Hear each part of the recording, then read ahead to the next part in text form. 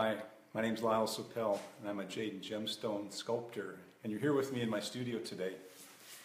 And uh, we're going to talk about a few things that have to do with uh, selling your art and getting over the struggles of um, believing you have to work hard to make money and that sort of thing. So, uh, first of all, I just wanted to share some, you know, really kind of fun and exciting things that we've been working on over this last month. It's just been a really busy month. We've, uh, you know, we've been in California earlier this month and in Palm Springs as well. And um, then we came back and we did a, uh, a film with um, WeChat people. And uh, it's, uh, it's Omar is the name of the production company that's produced this film.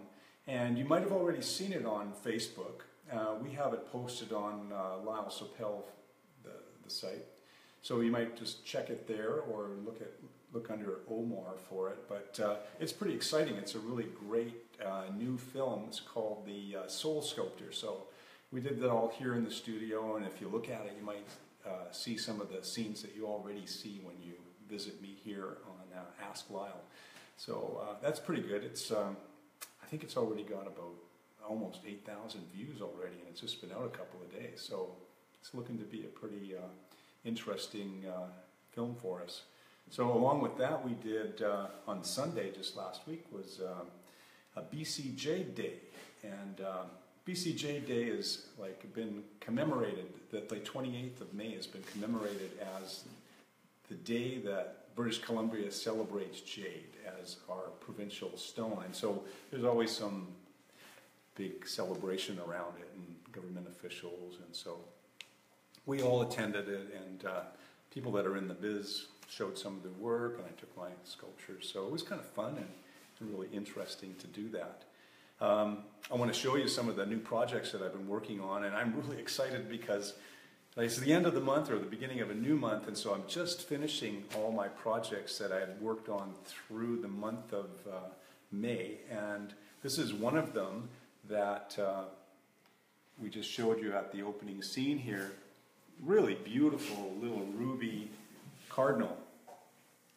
And um, I want to publicly thank Luis Alberto for this ruby because uh, this stuff is really beautiful. I really, I can't say I love working it yet because I just started working on it.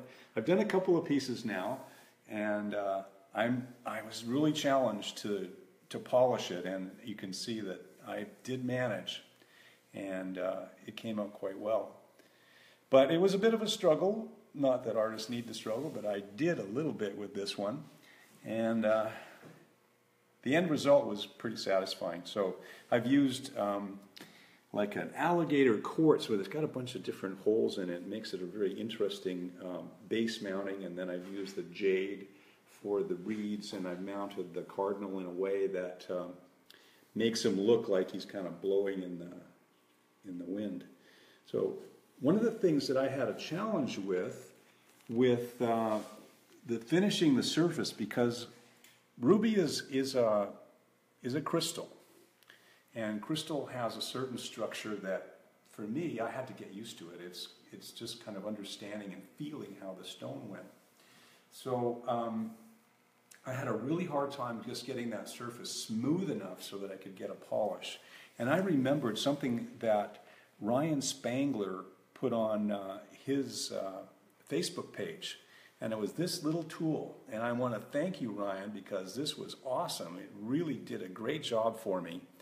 And what it is, is I just used a regular bit that I would normally use which was a diamond bit. And then I glued a little bit of an eraser to the end of it. And then on the end, I have some diamond paper. It's a uh, metal, metal um, pelleted diamond. And I just glued that, cut it and glued it on the end of this eraser. Now it's just awesome. I went up to 1000 grit and I got the surface cleaned up very, very finely and uh, that allowed me to take it to uh, a polish.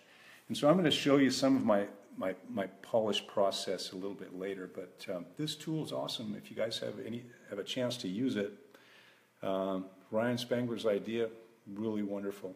Helped really a lot to get into all these little tight spots. Cleaned up those inside lines, made it smooth. Took the kind of the fuzziness off the, the ruby. Over here, got another really beautiful piece, and I'm just there's so much abundance in my studio this month with all these beautiful pieces. I just uh, can't get over it. I really just love working with sculpture. This is a Canada goose that you saw last week in various pieces. And so here we have a secondary one that's not quite assembled, but these two will work together. And as you can see, we've got the feet, and this is how I assemble pieces and drill holes, and then this will be glued together. And so that will come on like that. So this is a green jade, green nephrite from British Columbia, black Australian jade, and then the, the inset here is a um, jadeite from uh, Burma. So I've got a beautiful quartz with a little bit of green in it, and then some pins you can see, which will uh, support the the um, Canada goose. And he's going to be flying like that way. He'll sit there just for this moment, but it's kind of how he's going to be.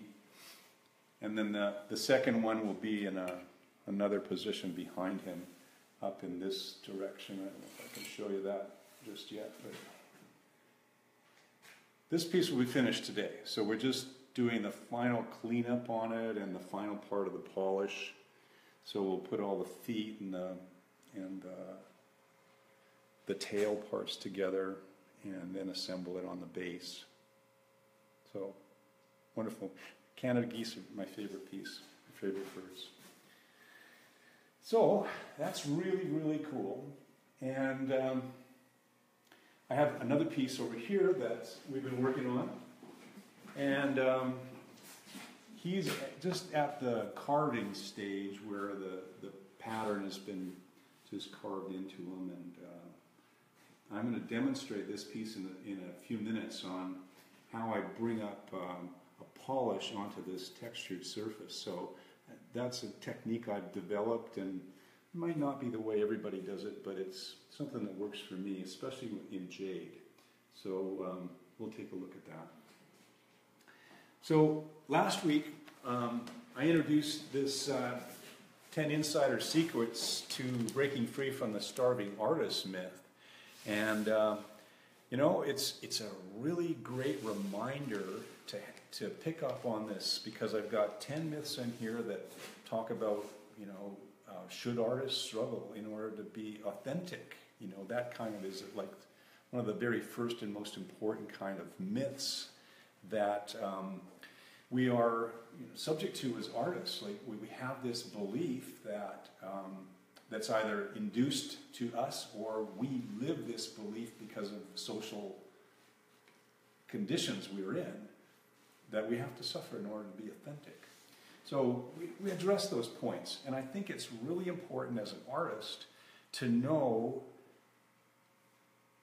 what's affecting our minds because in order to be creative we have to have a clear mind. And we have to approach our subjects in a way that, um, you know, are really authentic to us. They come from our heart. And if we've got outside influences like, you know, society or, you know, uh, peer beliefs that, you know, you can't make it, and if you're making it, then you're not real, and that kind of stuff. So I think it's really important to get this book be familiar at least with the 10 kind of most important ones that we think are you know more relevant to us. And then um, read it again and again and keep familiarizing yourself with it so you know that it's not it's not true. The truth is something else. The truth is not what we've been taught. You know the truth is what you really feel and believe in yourself how you believe in yourself. So um, you know, it's, it's the way to be successful is to be conscious about how you approach your art. So that's why I put this book together to just keep it all familiar. So it's good for me. I love to have it around too. And, it's very beautiful. It's really a work of art. So um, you can get this book, and all you have to, you can get it for free actually. I'm going to give it away to all my Facebook fans. And so you can go to Global Arts Vision forward slash Ask Lyle, and you can get a free download of this. So it's only free to the people that are here watching uh, this live Facebook. So that's for you. It's my gift. So I want to go on now to um, this idea that we talked about, like on the wall, like like, like a creative idea on how to um, how to build a, a, constructive business approach to your art.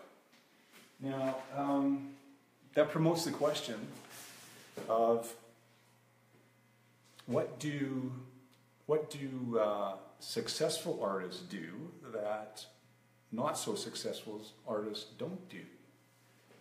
So you think about it, like, ooh, who's successful in the world today? You know, like there's there's people out there that that some artists make tremendous amount of money. You know, like uh, like um, Jeff Koons, for instance, uh, American artist who did um, you know the metal balloon dog, you know, poodle. He sold that thing for like what, sixteen million dollars. You know, um, Damien Hirst made that diamonds-studded human skull. It was reputed to be selling for like it sold for hundred million dollars. So there's there's people out there that can make money, but I, I had a, a really interesting. Um, thing come up the other day. I was doing some research and I found that there was some research done on Michelangelo. And uh, a writer wanted to research Michelangelo and find out, you know, when a certain part of the Sistine Chapel was done and, you know, what, what year and, you know, it was, was it cataloged in Florence and that sort of thing. And so we came, went into the, the archives in Florence to discover that he couldn't find out dates and times of the actual production of the Sistine Chapel, but what he did come across was Michelangelo's bank account. Yeah, his bank account. Like, I always thought that Michelangelo was somehow, you know, uh, commercialized with the church, or he was, you know, um, imprisoned in some way by the church to produce art for them. You know what? Michelangelo was an incredibly wealthy Renaissance artist. According to these records that are, are true Florentine uh, records of his bank accounts, get this, at equivalent dollar value, Michelangelo had $45 million in his bank account. That's equ- equivalent to today's values. So he was like one of the most successful Renaissance artists in the world. And he set a precedent, really, that, that others, like even us today, can, can work towards. So, you know, even back then, artists were not starving. You know, starving as an artist is, is kind of like some kind of, it's a myth, for one thing for sure. It's a myth that we've been led to believe that you have to do in order to be authentic? Well, the fact is that to be authentic, you have to come from your heart. You have to create from a place that you feel good about it. And then you have to also be able to live by what you do. And so, you know, art and commerce are not separate. There's, there are not two different things. It's a thing that you have to unite in some way and if you want to continue to create, you have to have a means by which you can continue. So, what do successful artists do? Well, they probably do things like, you know, show their work as much as they can show their work. And I think, like in today's world, you can use uh, the multi um, media in so many ways, like um, you know, Facebook and Instagram and those kinds of things, a really great thing to do is to just kind of put your own piece out there, your own new work on Instagram or Facebook on a regular basis. So people start to notice who you are and see that, oh, there's something new every time. Another way is to really talk about what you do. In a way, like what I'm doing today, like in my studio, I like to show what, what I'm doing, how I'm doing it, that kind of thing. So to do that is a great way to get people's attention. So another way is to find a, um, a group that um, you consider to be your people. You know, people that you can relate to and do the kind of art you do, or maybe even a community organization where you can participate in some way. Join your group, associate with those kinds of people in some way so that um, you know you can uh, learn from other people. And when you're there, you ask questions, um, you um, show your work there to other people. Be open.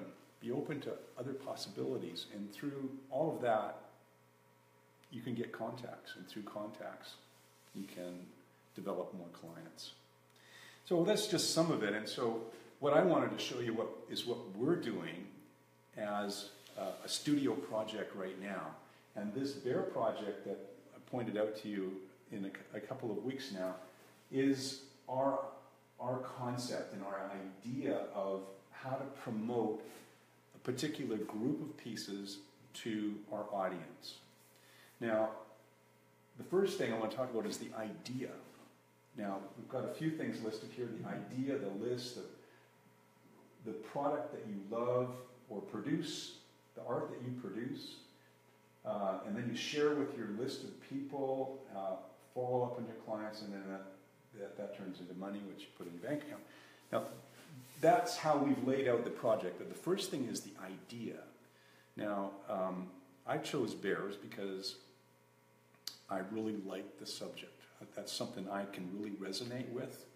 And, um, you know, it's an authentic thing for me to want to do this. It's just something, I'm not like contriving this in order to produce the project. I want to, I want to do this because um, I love the animal. I'm really familiar with it, but I don't, I'm not deep enough with it, you know, and I, and I, um, I think that by, um, going into a project like this, I can get deeper with the idea. And I think that's what um, is really appealing to a collector or, or, uh, or it's appealing to me as, as the artist. I can get into something. And it's like, um, it, it's so important to go beyond what you're feeling comfortable with. And so, like, to go beyond uh, where I am with this piece and into um, a place where I hadn't been before, like sharing this whole process and sharing this idea the way I'm doing it is, um, you know, a great way to get more attention towards it. And it's kind of like a little scary for me because everything's so public. But I think that's when it's the right thing, is when you're, you know, beyond your own comfort zone and just kind of working in the studio and taking it up to another level where it can be more public and more aware and, and, and get more people's attention that way. So, you know, the, the, the thought was I've always studied bears and I've created quite a few of them, but I've always got the information about bears from other outside sources, like from, um, you know, photos or videos, or, you know, whenever I'd see a bear, it would be from a distance. It wasn't like up close. So at some point, I took a cruise, uh, not a cruise, but we went on, my, Curtis, my son, and I went on expedition to Knight Inlet, and we got really close to these bears, and I was able to get like within, you know, 10 or 20 feet of these guys, and I could really, really see how they lived in nature and what they ate and how they reacted in their environment and that sort of thing. So that, that was kind of like the idea, and I said, wow, if I can just share that sense of how I felt with the bears, then that would be, you know, really something. You know, that could be a great storyline. It's a great way to, do a series of pieces. I just not one is not enough. I can do more. So I put a series of things together. So that's what we're doing. That's that's where the idea comes from. And so um, I would like to just encourage you. You want to follow this path is to just think what's what's um, what's great for you. What do you feel strongly about, and how do you how do you uh, want to express it? And then think of it not as just one piece. Think of it as you know uh, a series, a group of things. You know, another group of, of, of pieces that you can, you know, um, uh, expand on. And when you expand on it, then you've got something more to bring forward to the collector. Okay, so um, we had some postings up. So we'll go over, next week we'll talk about how to build the list, but that's the idea. So authenticity is really the key point. You know, if you're authentic with what you're talking about or you're, you're creating, then you're not selling out. It's got nothing to do with um, selling out, but it is a business approach that you can follow through in a sequential manner. So, you know, I'm going to bring in um, my marketing expert, Lee, and we're going to have an interview with him at some point in the next couple of weeks. And he'll uh, talk to you about how to market this idea, how to get it on, on the internet, how to maybe build a web page for it, and that sort of thing. So um, I'm going to show you what we've done so far.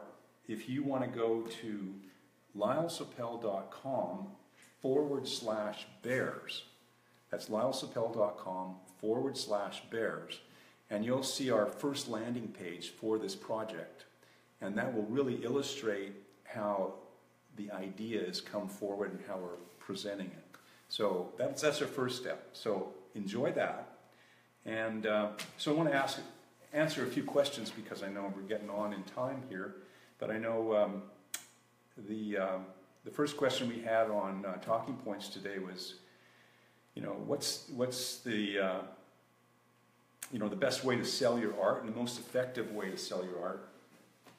Well, what we've been talking about is a really great way to sell your, your art, but uh, that's only one way. That's just one aspect of, of, um, of selling your art. And I, I really believe that the, the best way to stay successful as an artist is to have multiple sources of income. So this is one way. So, um, you know, like I've mentioned before, the social media is a great way, uh, Instagram and, and uh, Facebook and those kinds of things where you get your work out there. Um, the, the idea of um, working with a gallery is another way. If you have a gallery you're comfortable with and you, they give you a nice place to show your art, that always puts your name out there, your work out there. People see who you are. Um, like I said before, you can um, be in, involved in some kind of community project, like volunteer to do things with them, and anything that's involved with art, you get involved and you meet people and you get associated and you get all of these kinds of things are ways to get a multiple source of income. Um, one of the things that I, I really love doing, this is like old style business, but um, this is before even the internet, is I would go into hotels, and some hotels, they probably still do it, is they have showcases. Like high end hotels love art in, in their lobbies and stuff like that. So in the old days, there used to be a way that you could actually show your art or whatever. So you could rent the showcase, and I did this for years. Is I'd rent a showcase in a high-end hotel, and I'd put my art in there, and then people would walk through the lobby, and I'd have my telephone number, and so many times, many, many, many times, I would go to the showcase, and I could sell my art directly out of the showcase. People would phone me, and they'd say, "I want that thing in that showcase." So that's one way. So all of these things that are out there are all ways that can generate income. Don't depend on one thing and just stay focus on that one thing. Try to develop it into more developed or greater ideas. And, um, you know, one way, the other question we had is like, how do you stay motivated and meeting your production times and so on? Well, this is a great day for that because it's first of the month. And that's what I always like to do is I like to work by the month. I like to uh, work from you know the beginning of the month to the end of the month. And so this, as you're seeing on the bench here today, is like some of the things that we've had finished through the month of May. And there's a few other things that I'm not showing you, but this is, you know, really great way to do it. Have a lot of things, and uh, so it's also um, really rewarding as an artist to be able to um, see all your work in one place, and it gives me a real sense of abundance. You know, I created all this in one month, and it feels great to see it. So, that's what I like. I like to plan my month and then work through the month and then plan to finish it all by the end of the month. So it gives me this time constraint and way to deal with it. So, um, how to stay creative and um, move through all of this stuff that happens in your life and how do you keep it? How do you stay motivated and, and, and uh, creative through, through your day? Uh, so one of the things that, that I really like is to uh, think about what is kind of the scary place. Where is the scary place for me? Uh, what is beyond what I feel good about or comfortable with? Um, where is that place? Like, um, that's what motivates me now. Is like, um, what can take me beyond what I'm familiar with? So, um, the, the way I can explain this is if you um, if you're creating the same old thing all the time, you know, the same project. You know, I did that and so it sold. I'm going to make another one so that sold and that kind of stuff. That kind of stuff is like, okay, that's kind of like selling out. That's not, that's not real. You have to move to the other side where you go, well, what can I make that I've never made before that's really interesting and fun and maybe a little scary because I've never done it before. So you want to go there. That's the kind of feeling you need to have and the idea that you want to share is like, oh, this is interesting and fun, and go to that kind of direction. So I think that's what keeps me really motivated and uh, feeling uh, excited about what I do. And when you do that and you feel that way yourself, it's translated directly into the pieces that you make. There's no question. That's the way you get success. That's the way people love your work. When you're excited and, and having fun with it, then that's exactly what people see when they look at your art. So makes it successful. So let me get on because um, I wanted to show you how I'm going to polish this bare surface. And like as you know, it's very rough. And so what I did here was I used a, a diamond tool and I went over the surface and I cut all these lines into it. Just took hours and hours to do that. But the effect is to have this real chopped up surface. And then I went to a sandblaster and I sandblasted that surface. And I use a 400 grit silicon carbide in my sandblaster. So that sandblaster does 400 grit on the surface. Now what I'm going to do is I'm going to sand these or sand the highlights off. And I'm going to show that to you right now. I've got two grits on my sander. This is a 400 grit silicon carbide, which is pretty good, but I'd rather go to um, something a little finer for this so I don't sand off all my grit. And this is a, a diamond, this is a diamond pellet in there, and this is a 600 grit. So I'm pretty comfortable to go from the 400 sandblasting to the 600 diamond grit. Now let me just show you. I'm going to get it wet and do some sanding here.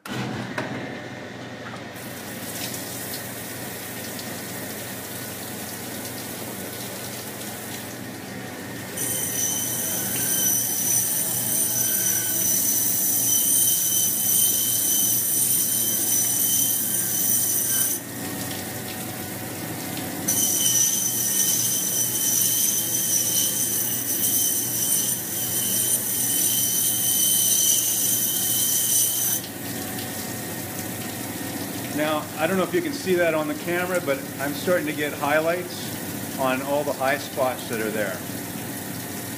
That's what I'm looking for. Now, these highlights are going to really emphasize the, the, the hair pattern on the bear. Let's, let me just go a little bit more.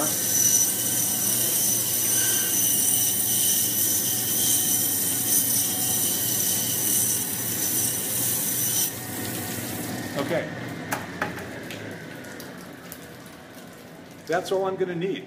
That's, that's it. I'm, I'm going to go right to my polisher and I'm going to put a polish on those high spots. Follow me.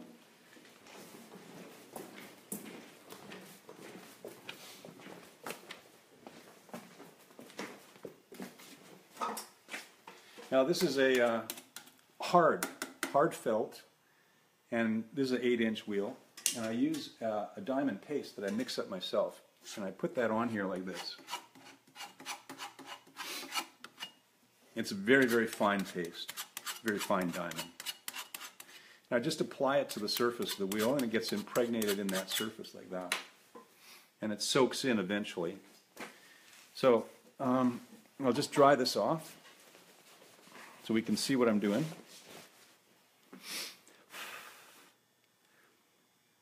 So we're pretty close already. You can see that those those fine lines are cut in there. They're they're showing up already. Let's do some polishing.